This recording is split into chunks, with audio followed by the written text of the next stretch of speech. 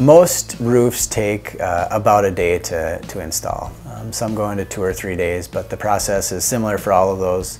Um, the, the roofing material, existing roofing material would be taken off and then the shingle uh, truck would get there, they'll load the, the shingles on the roof um, and then we start to put down the, the underlayments. Prior to putting down the underlayments, we'll inspect the roof decking to make sure that there's no rot or damage or nothing needs to be replaced there.